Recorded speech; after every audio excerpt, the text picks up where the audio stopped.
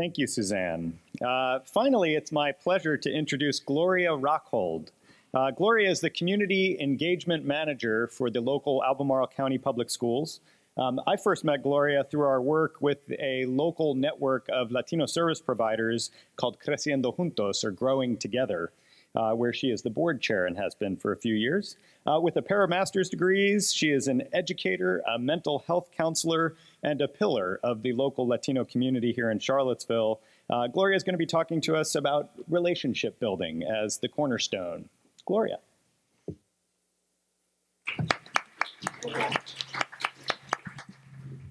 Buen día y muchas gracias. Thank you very much for having me here. I am very um, honored to join into this important conversation. Um, I feel like um, so many times we talk about what we as a community at large want our all of us to engage in. And there are times when we don't realize that there are these huge barriers that communities have. And they're just wondering, you know, it's like these communities are out there looking like from the sidelines. And um, they're just looking and they're watching and their and their kids are coming in through our systems of in, in our schools and, and and we sit there and wonder why they're not as engaged as we would like them to be engaged.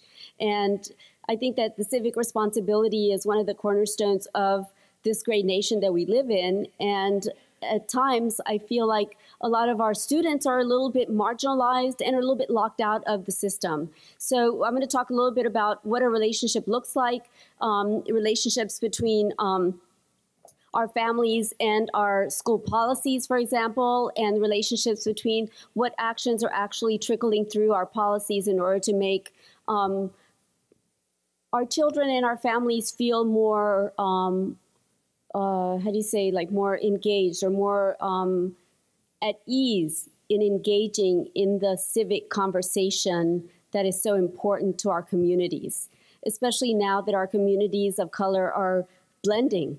Um, I see all of our children, a lot of times they're not only Latino or only African American or only white. And this new generation that's coming up, sometimes um, uh, we're still putting them in boxes. So by by what mechanisms we have in the conversations that we have, a lot of times we are the barriers to um, that civic engagement that we so want. So um, let me. Ah. So um, I want you to just think a little moment and think, what do you know? How do you know what others don't know? Think about that question. How do you know what others don't know? And then on the flip side, how do you know what you don't know? Think about that. Where do you go in your world to find information that causes you to be able to speak the same language as the majority or understand what civic engagement means with the language of those who want us to engage civically? Where do we go for that information? And how do we know that they know now? Right? So we have a lot of um, you super intelligent people in this room that spend time studying what you think or what you see and what you observe. And then I, it, it's just at a certain point of time, all of those slices of knowledge add up to what we believe people don't know. And we are there to inform that conversation. So, what are some of the barriers that we or that I observe? So, basically, I'm going to be talking about how how in working with the Latino community in the Charlottesville area, it's like what are the, some of the barriers that I find that um, that are just there and sometimes we don't know that they don't know that it's there so when we look at structural um, when we look at structural issues or structural barriers you know the school system's expectation of our families of color or our immigrant families? How do we how do we convey to them what our expectation is and what tools are we giving them in order to fully engage with us? And why is it that sometimes, you know, I get teachers and say, I just don't understand why this child just never comes to school. Well, if that child misses this bus, there's no one in the community that can take them to school. So that is, for example, the, the, the knowledge from the, the educator, ed, educator side is that what, are, what do they need to know? So that brings us to the, the, um, the expectations of you know engaging in the PTO PTA for example which I believe is like the front line of civic engagement for parents to start modeling to our children because if our parents are not modeling civic engagement it's very difficult to have that civic engagement that first generation out those US born kids that are now turning 18 and have the um, the right to vote they don't have that cultural piece that many of us take for granted so without that cultural piece of understanding the value of voicing your vote, they may come from a from a country where civil war was at hand, or a country where they understand that that vote doesn't really necessarily count. So where are we teaching, or what what for where in our community are we finding that place to actually teach our families, to teach our children? Because I feel like that cultural that civic engagement piece needs to have that family engagement component to it. So the expectation, there's another expectation of, of competency. So we assume many of our, our um, Latino families should understand why the, the school system wants them to support education by helping the kids with homework after school. We're assuming that those parents can read and write in English, and we're hoping they read and write in Spanish. And that's a hope. And that's not necessarily a knowledge that most teachers are um, understanding enough or more or school systems are understanding enough in order to cause that true engagement. And then that the huge elephant in the room always is that cycle of poverty. I find many times um, school systems and teachers don't understand the effect of the cycle of poverty on this huge population that walks into our classrooms. So when we see these children and families walking in, we don't realize and we don't sometimes understand that that child didn't have breakfast. Their parents are probably, well, all of these layers of issues that the child is bringing into the classroom. And sometimes it's just by understanding poverty, we are more um, prepared to embrace that that child or embrace that family into helping to um, navigate through our complex system in this country. So, um, in the cultural aspects, you know, what who who are the students gathering the information from? Who are their peers? And what is happening? And how is it that all of a sudden we find a child who is US born and on this perfect track to be a fabulous, uh, super engaged individual in our community, and then something happens. And then that something that happens, all of a sudden, you know, we see them doing or making bad decisions. And those bad decisions have a repercussion in their families, in their communities, because that one child that's making decisions that are not necessarily positive is affecting the community. Because Latinos, we are very relational. We make our families when we don't have families, you know? people come from the same town in, um, in Honduras, they find the same neighborhood, the same street to live on, and all of a sudden, all those people are related. They're not really related, but for them, they're related for all practical purposes. So then teachers come to me and they go, I don't understand. There's like this tia and this tio and this aunt and uncle and all, eh, the understanding of that of that web of relationships of how we find a way to make meaning to a meaningful um, stay or passing through this country. And sometimes I find that the teachers and the educational system is not um, is not understanding what cultural aspects are guiding that the performance of that child or the engagement of that family within our our, our system. And something that um, that I think we always need to talk about is the culture of fear. Many of our children that are um, that are uh, recent immigrants or that they, if they were born here in the mixed status families, their parents are, are riddled with fear. You know, they have a fear of coming into our school system because it's a, it's a government agency, uh, according to them. And they feel like, oh my God, I go in there and they might you know, all of these things might happen. It's just the concept of like they believe all of these things. So we as an institution need to go back and go, no, it's not going to happen. Immigration is not going to come and deport you just because you walk into our schools, for example. So, so those are the things that um, I need to, you know, just talk about the fear of a second grader.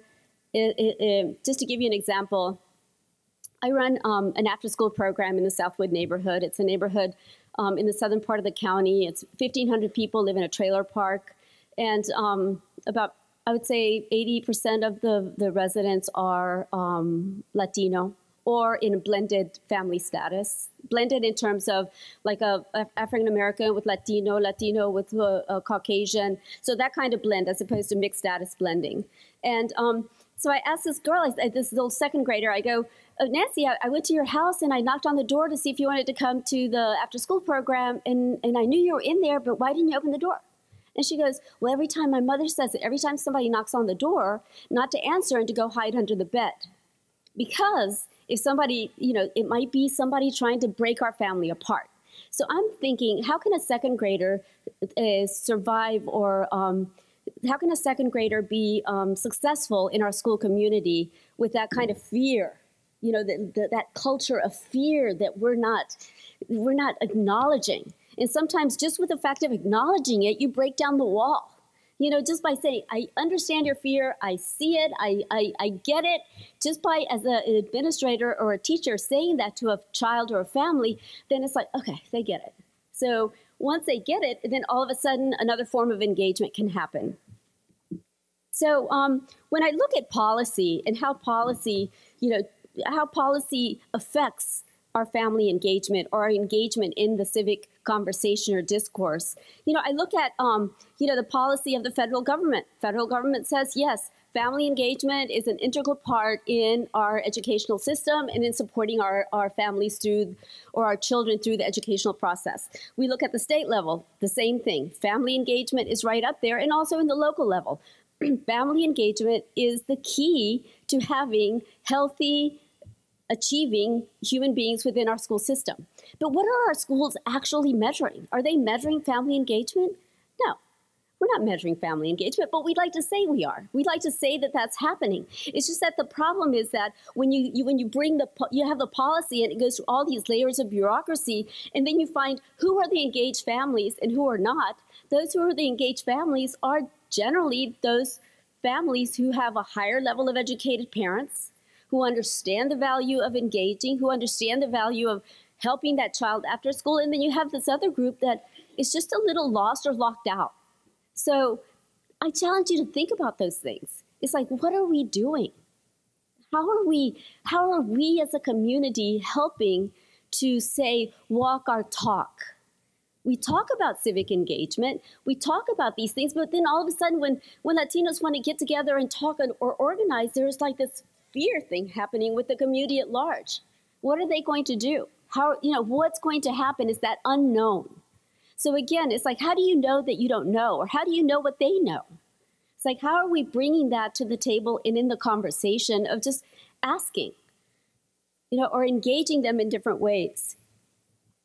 So um, let me let me go on and talk about a little bit about the relationships. Um, you know, I find I find that knowledge is is so important and, and having, um, you know, building capacity within, within family members because I find that if the families model engagement, if the family models, that the children will follow. And even if it's not their biological parents, if their community starts modeling that that that important relationship and that important knowledge of how to become a citizen in this in this country, where you are engaged in the process of leadership. It's like leadership building. How do we build leaders within our communities? So one of the things that I've, I've started doing is just I'm, I'm looking for families or parents who will be the leaders. And I don't care about what your documentation says. I just know that you're a human being and you're in, and you're responsible for if not only your kids but your family's kids. And how can how can I help you or how can the system help you become more um, uh, feel more of a sense of agency to be able to advocate for yourself or advocate for other members of your of your community so um, when we look at the school expectations again it's like you know school ex- expectations are sometimes not realistic with who who's sitting in your classroom or who's coming into your school So we need to be a little bit more um, careful about that cultural competency. We talk a lot that we talk about that a lot, and at the same time, is cultural competency a core, you know, a core knowledge that our teachers at the um, coming out of our ed schools, do they have enough of that so that when they come into our classrooms, they're able to connect with our children and our families? A lot of our new teachers have no idea how to how to connect with families. So what does that say about what we're teaching? So we're we're saying that that's important, but then we're not following it up with these. This is how you create relationships with people that don't look like you and and that's what that's what my observation is is you know what do you do and how do you know that people don't know? Um, and th- this is a picture of um, every year I bring two bus loads of, of kids during spring break because I know many Latino families and many families um, don't have anything to do during spring break. So a lot of the parents have to take off work because who's going to take care of their kids? So on the Wednesday, um, right in the middle of the week, I get two buses and we bring them to UVA. One of the things that, uh, again, just to show you how we we don't think in terms of how they think. Um, we brought them here, and they were like, "This is the first the first year, the first time many of these have ever come on grounds." And they go, "This is so nice." And, and then they, they were like, "Can anybody come here?" That's another question. It's like, do you need permission to come into a public space? Again, we make assumptions that we know what a public space is and how it is for all of us. But see, we we don't go beyond telling them that yes, and I and I said to them, it's like yes, you can come to the the, the lawn and you can bring your picnic, bring your music, and anyone who is a citizen of this country can come here because it's a public space. Just to give you an example of how do how do we know that they don't know that? Do you see? So I challenge you to think about those things and you know how do you know that they don't know and and how do how do I know that I don't know? So let's all just be a little bit um, more embracing of the fact that there are a lot of people that just have no idea what it's what it's about. And and um, and the last slide is about engagement begins with families. And this is a picture of a um, uh, in this neighborhood. We started an after school uh, program. I call it the Academy, and um, the intention is to get the families in there. I want families in there sitting there while their kids are doing homework, while they're playing. I want them to be involved and I want them to take over. Because once the families start taking over these programs, then they will feel more empowered. Their, their voices, they will understand that their voices are just as powerful as anyone else's voices. So we all, by doing just a little bit, all of us, in understanding this, I think that um, our, our youth of color and our youth who um, come from very low socioeconomic environments are going to be able to find the voices through the relationships with their families and through what their families teach them. So um, I just wanted to thank everyone for allowing me to be in this conversation, and um, I, I encourage all kinds of questions. So thank you so much.